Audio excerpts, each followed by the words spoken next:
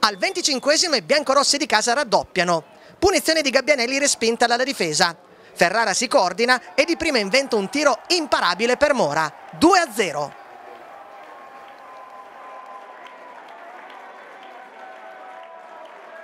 Sugli sviluppi del conseguente corner, il Rimini trova il raddoppio.